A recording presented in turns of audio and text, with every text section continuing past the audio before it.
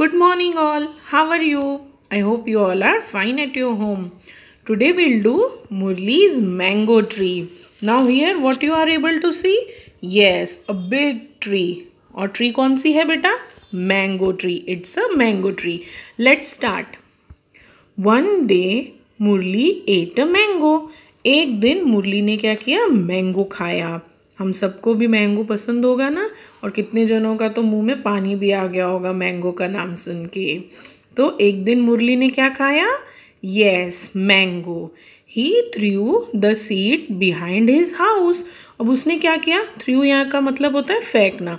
उसने सीड यानी मैंगो की जो अंदर से खाने के बाद गुठली निकलती है ना, वो उसने फेंक दी अपने घर के पीछे। मैनी मंथ्स लेटर कुछ महीने बाद ही सॉ अ प्लांट उसने क्या देखा? वहाँ पे तो एक प्लांट है। He water the plant every day फिर उसने क्या करना शुरू किया? पानी डालना शुरू किया और वो डेली यानी हर रोज़ करता था ये। The plant grew into a big mango tree धीरे धीरे प्लांट जो है, वो एक बड़ा मैंगो ट्री बन गया।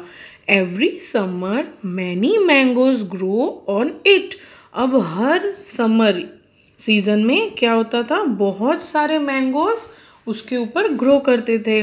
देखो बेटा ट्री में दिख रहे हैं ना साइड साइड में मैंगोज ऐसे।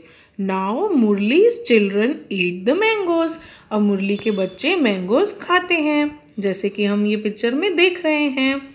ठीक है बेटा? Now turn the page here, what you have to do, read the sentences and take the right picture.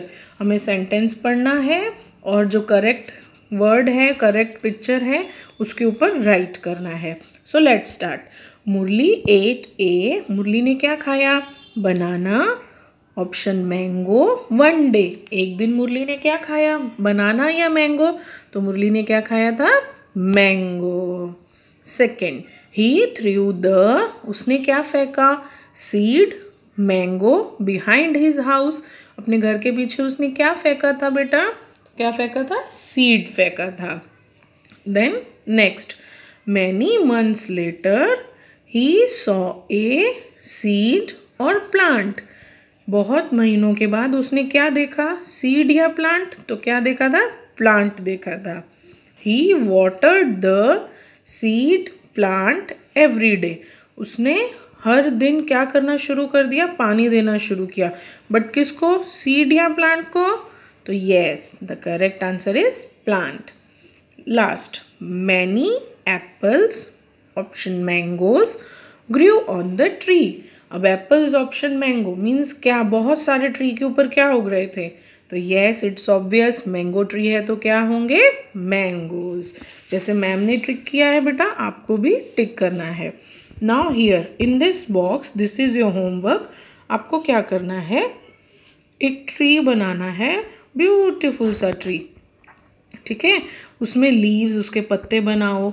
Branches उसकी टहनियाँ बनाओ, उसके फ्रूट्स बनाओ। सपोज़ अगर आपने मैंगो ट्री बनाया तो मैंगो एप्पल ट्री बनाया तो एप्पल ट्री ऐसे उस पर बर्ड्स बना दो आप।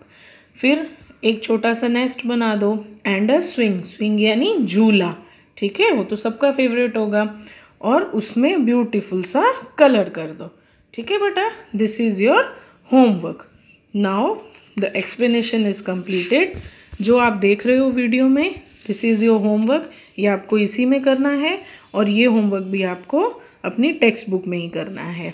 I hope each and everything is clear to you all and one thing I would like to request to the parents मैं पेरेंट्स से रिक्वेस्ट करूँगी please make your child do reading अपने बच्चे को रीडिंग ज़रूर कराइए।